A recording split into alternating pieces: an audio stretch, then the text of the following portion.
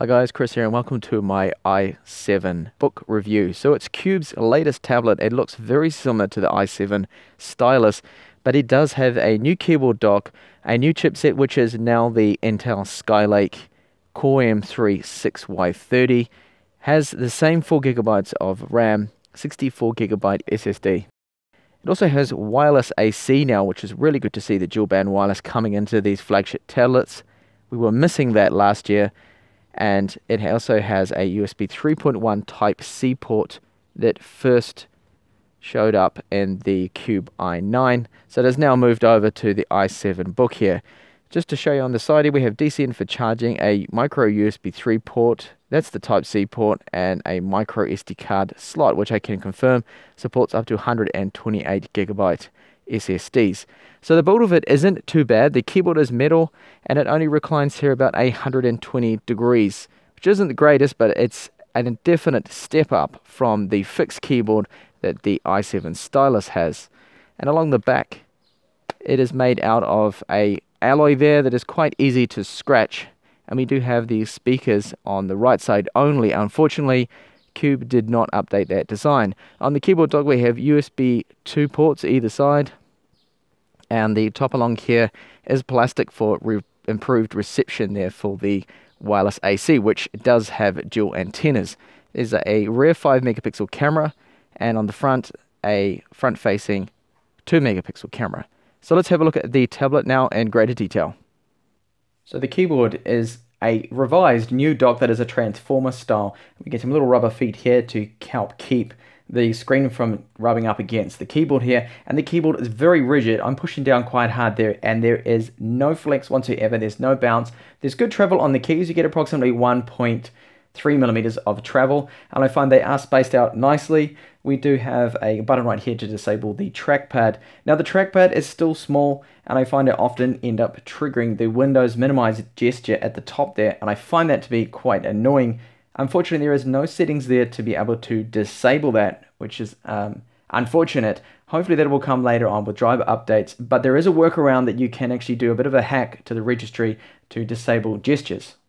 And the tablet, it's very easy to dock. It just clips in, magnets help pull it into place, and it will dock in like so. There's a nice little gap there that you can touch the Windows Home button, and there's a little tiny haptic feedback motor in there. It'll give a small vibration too once you push the Windows button there. Now you can flip it around and also dock it in, which is a little harder. When you do that, you can use it in what's called like a presentation mode. So you can hold it up like that and watch a movie on it, for example, as a stand. And because it has that 10 pin pogo port design, you can still use the USB 2 ports either side and even the trackpad, which is unusual. So the screen it uses is a Samsung 1080p screen and it's the same screen that was used in the i7 stylus and also the Microsoft Surface Pro 2. Very good screen in terms of brightness, well it gets up to 419 lux, which is quite bright. You'll be able to make it out in the shade outdoors and sunlight still will struggle a little there with the reflections being the fact that this is a non-laminated display. There is a small gap between the digitizer glass and the IPS below, but it's not so obvious like in other models. Blacks are good, whites are good. The calibration of the screen I find to be excellent. Accuracy as well, and how fluid the screen is with the Focaltech digitizer that it has on there is excellent, and no problems at all with it. Now it does support a Wacom stylus, and you can get this. It's an optional extra, so you do have an eraser tip on one end, and then the other tips on the end. Now the tips of the stylus is that they do include uh, plastic, so they don't have a rubber end to them, so they don't feel as good as a, a Note uh, 4 or 5 stylus, for example, that does have rubber on the end, but you can still use that. Being Wacom, you can actually get away with using a Note 5 stylus or any other Wacom stylus. So I'm going to go into OneNote right here now and just give you a quick demonstration of the palm rejection. So here I'm going to try and write hello. So you can see now it hovers. There's a little icon there just to let you know that you're hovering where your, your pointer is. The accuracy of the pointer isn't bad at all. you see what happened then, how it just went down? Because the edge of my palm just touched around here. So the palm rejection tends to only work just in the middle. So if I move my finger here, you can see that it's not moving or scrolling around on the page. But as soon as I move the stylus to about here, onto the edges, then I'm allowed to do that. Now this apparently is a problem with Windows 10 and something to do with the drive support and the way that Windows 10 is configured because uh, they they want you to be able to swipe still left and right to get access to the charm. So software only hopefully is this problem and, and it is hopefully going to be fixable, but I can't be certain about that. So writing on it, if you're in the middle there, you just have to be a little bit careful with your palms. I find that if you do put example OneNote here in, in full screen, then you're able to write a little faster here. So I'm just going to do another test again.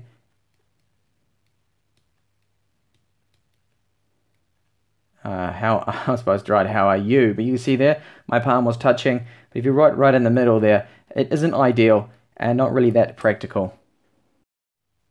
So it is running Windows 10, and that is of course 64-bit. We have full access to all of the 4 gigabytes of RAM that it has on there, and Windows activated without any problems. Now just to show you in the device manager, that the disk drive that it has is a 64 gigabyte drive. You get approximately 46 gigabytes free on it when you first boot it up. And the wireless here, we have a wireless AC from Intel, which is something that is new to these tablets. Nobody ever only had single band on there. So we are finally starting to see in 2016. It's well overdue dual band AC and in the chipset is the Intel dual band wireless AC 3165 which performs quite well. I will get onto benchmarks now and just show you how fast that actually is here we have the benchmark. So the, the first one of the first ones I'll just show you here is the Geekbench 3 score. Now that's not a bad score for the chipset. And the, the wireless speeds, here they are. So the range I found is really good, excellent. I can go downstairs furthest away from my router and being able to pick up and get good speeds. Now testing this same location with my desktop, I get approximately the same speeds, more or less about the same. It all depends on the, the network load. Unfortunately, because I'm connected up, you can see here uh, via Orange, and that is actually just a 4G connection. That is the fastest I can get where I'm located. So that can fluctuate a little bit, but all in all, the speeds are excellent, really good, and I haven't had any problems at all with it. Bluetooth as well works really good. So some of the other benchmarks I ran, for example, um, Ice Storm Extreme 1.2. I'm going to quickly go through these. CloudGate 1.1, uh, here is Ice Storm 1.2 score. Now, I haven't tried to cheat or anything to get these really good scores, but what I have done is let the tablet cool down and I have been running it in the high performance mode. So I let it cool down between the benchmarks because the more you run this benchmark, if I was to keep repeating 3D Mark 11 over and over again, the scores will just keep going lower and lower and lower as the tablet starts to heat up. And later, well, it's a little bit random too because here you can see I got a really crazy score for this chipset. Okay, compared to your desktop, this is a horrible score, but for a fanless tablet, it's quite good. Uh, so PC Mark 7 score also very good. Uh, the Passmark score gets, uh, where are we, 1845. And lastly, 3D Mark 11, a performance score of 1051, which is very low compared to your gaming desktop, but for this chipset, not bad at all. Temperatures is what I want to show you now. So this is really the Achilles heel of this tablet because although you get that really, really good those performance there, you can see well, this is what happened. So it got up to uh, 97 degrees on the GPU and the CPU package there. But it was actually, the CPU cores got up to 93. It didn't trigger any thermal throttling. So Cube have allowed to, to basically get this as hot as you want, but as fast as you want, really. You could, it's very fast. Now, these temperatures only happen when you actually put the tablet in performance mode and you disable any power saving features on the GPU. There's a setting in the Intel GPU there that you can put on to extended gaming, uh, extended battery life for gaming. If you disable that, then this is the, the scores you get that I just showed you. It increases the 3D performance drastically but that is the problem, how hot it gets. So definitely a candidate for my thermal mod, I think, to help improve the thermals on it. So performance in general is very quick. This happens to be, I think, the fastest Core M3 that I have tested to date. It is very quick, very snappy. Everything pops up quick. Scrolling, this is Chrome. Core M's handle all this quite well. And the fact that we do have a full SSD, that also helps. We've got no restricted eMMC drives like the Atom tablets and it just goes so quick. Multitasking handles it really well, everything there. So I'll show you lastly the speeds of the internal storage. you'll see here that um, they're nothing wonderful, but definitely quicker than your average Atom tablet. A lot quicker, up to five times on the reads and the writes. Not bad at all, the 4Ks. Uh, this is a external, this is a USB 3 drive. And unfortunately, you have to use the adapter to use the USB 3 port, as well as the Type-C port. You're going to need adapters there. But it does get and offer full speeds, and all of the ports, external ports, and the USB 2 ports on the, the keyboard dock will power external hard drives. And the micro SD card slot I noticed was only functioning and working in around USB 2 speed, so not as fast as it could be this card. That card that I tested out is a, a Samsung 128 gigabyte Pro Plus card. It does detect it as well, the system. So a quick 4K test here in Edge. You can see that uh, that is set to 4K and it dropped only one frame and has about 10 seconds there of buffer. So very good. No problems with that. I'm going to try the same test here now in Chrome. And Chrome isn't very good at streaming 4K. If you try this on an Atom, it just really grinds to a halt. You only get about 5 frames per second. So that's on HD. And I'll put that now to 2160. Full screen, enable the stats. And have a look now. So it's still buffering and no drop frames though, which is a surprise. Okay, we've got one drop frame. That's not too bad. So even in Chrome, it's streaming this quite fine, quite smooth. Okay, 10 drop frames now. It is dropping frames, but it's a lot better than the Atom tablets. Mentioned in the beginning of the video that it does have a USB 3.1 Type-C port on it right here. And I have used a variety of hubs on there and they all work and you can actually charge via the Type-C port. Right here I have an iVolva 75 watt charger and this outputs up to 12, well, 12 volts 3 amps and that is enough to actually charge it and use it. So you can pretty much use this as a, a one port docking solution because with this Aukey hub that I have, a Type-C hub here, we have HDMI out and there is the input there for charging as well as four USB 3 ports and it's working just fine. I did notice though that sometimes the output with HDMI has been a little bit flaky with this. Sometimes there's been a bit of a flicker, but whereas when I've used a straight Type-C port to HDMI, that has worked fine and flawlessly the HDMI out. So not really too sure what is up with that. It could be something to do with this hub. And another type of hub that I've tried here also worked, which is just a standard uh, Type-C in for charging HDMI out and one USB 3 port that also works.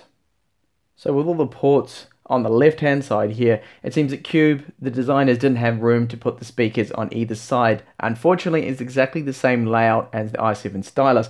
So we have the two speakers here. I'm going to do a little quick test now, so I put the volume up to 100% and we'll have a listen to how it sounds. Guys, Chris here and welcome to my review of the UMi Super. So this is a MediaTek Helio P10 powered mobile phone with 4 gigabytes of RAM. Let's have a look at. Now listen to a quick sample of music.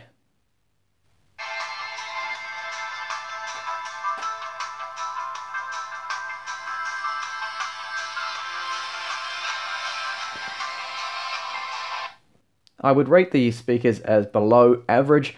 They just aren't really loud enough. So if you're in a noisy environment and perhaps you're playing an audio track there of someone talking, you might struggle to actually hear them.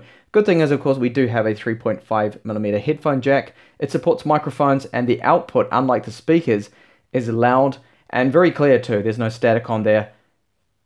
So how is the battery life? Unfortunately, it's not wonderful. You can get around four and a half to five hours with 50% screen brightness and surfing the web, watching some YouTube videos, which is what I've been doing here. You can see that I have been running it since 99% and almost one hour and it's now at approximately 80%. So every 30 minutes of use, you lose about 10% battery there. Best case scenario that you could put it into flight mode, you could dim it down to 25% brightness and just watch movies, then I think you can squeeze around 6 hours out of it.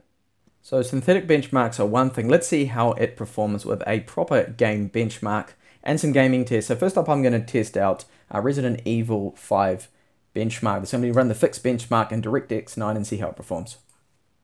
So I'm just going to go with the default settings that it first booted up with. You can see along here as well the frames per second, memory use, and most importantly to the temperature. So I'm going to run the fixed benchmark.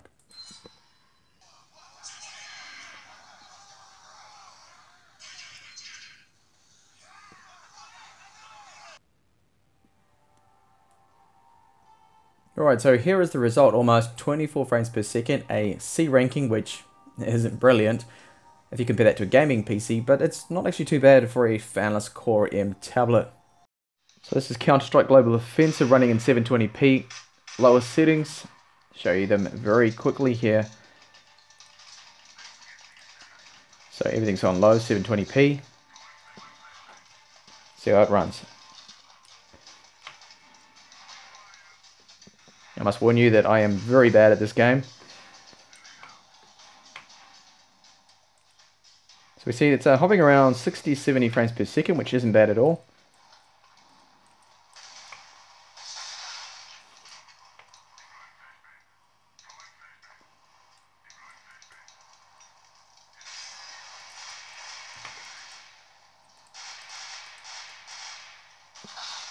And I died.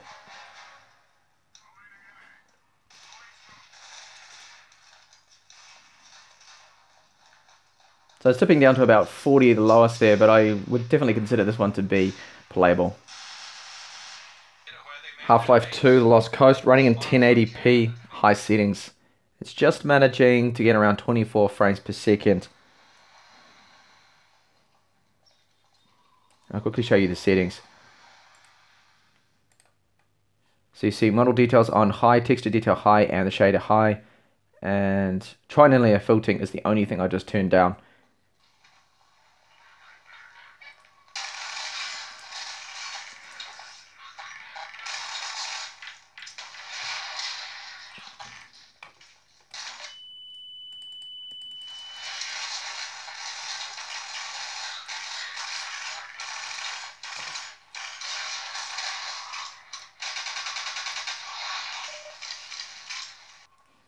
So it, seems playable at 1080p anyway, this game.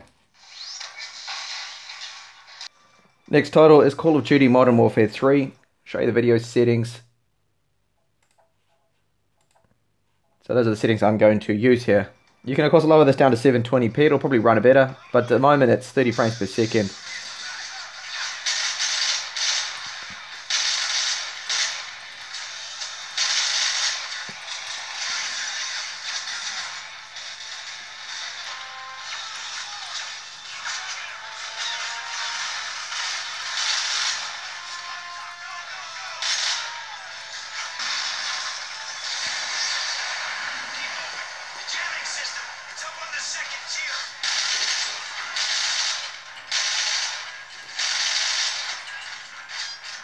And the last game I'm going to test out is League of Legends and just the Summoner's Rift map with one bot on my side, two on the opposition. This is the normal test I do on these tablets.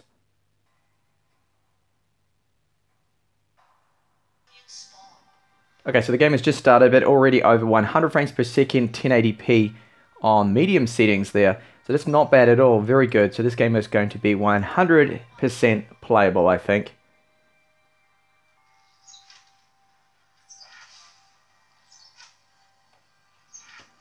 And moving around the map very fluid and smooth as you can see. And the frame rate is great. Temperature is getting a little warm now up to almost 90 degrees 89 degrees at the moment. So now with a bit more on the screen the frame rate is still about 90 frames per second. Very good results there. So let's have a look at the temperatures. So looking in Intel Extreme Tuning utility, we can see that uh, it gets up there, you can see peaking at actually 97 degrees. So that is really too warm. But most of the time it stayed around 90 gaming. Now I don't have the best conditions here because I do have the tablet lying flat down on the table. So it's not dissipating as much heat as it probably could. But we see there that uh, in terms of power limit throttling or thermal throttling, nothing there. So, oh, there was actually power limit throttling happening, sorry, you can see there, so that bar at the top. So it is limiting the power a little there. So thermals, let's have a look now with my thermal probe, just after gaming and see how hot it is getting. So 45 degrees on the front of the glass, and on the rear I can feel, just before that it's, it's starting to get quite hot. and that is around 45 as well. So very warm to the touch, actually up to 46.4 there. But bear that in mind, as I just mentioned, that it has been against a table. For a tablet, the cameras take an okay photo. So we've got a rear 5 megapixel camera with autofocus. So you can take macro shots of text, for example. The front facing camera is okay quality. It's good enough for Skype. And here's just a couple of samples here. It's a little grainy, this outdoor shot, but you'd probably be honestly better off using your mobile phone to take any decent photos. But if you did have no other camera with you, then you could get away with, yes, taking some photo of some text or notes. A quick look at Remix running on it. I can confirm that the wireless is working. Now, the copy that I downloaded, the ISO image, is one that has some additional things added to it, additional drivers. This is from XDA forums. And you can see here that uh, the touch is working and the battery seems to be detected. Sound, I'm not too sure about. I haven't actually had any sound come out of the speakers yet. And wireless, connect up to wireless, just fine. So, and the stylus you can see is also working. So that is an added bonus there. So good to see that it can run Remix, but I installed it on the micro SD card slot. So it's a little slow, not running at the full speed.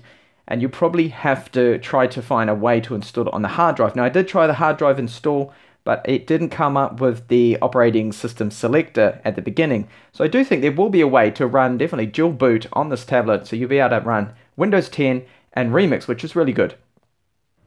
So after using the i7 book now for a week, I can confirm that the performance of it is exceptional. It is probably one of the fastest Core M3s that I have tested to date, but that does come at a cost of those very high temperatures that it can reach when you push it hard gaming or benchmarking or doing any task demanding for long periods, it will get hot to the touch and it reaches temperatures that really shouldn't be happening in this kind of form factor without any fans.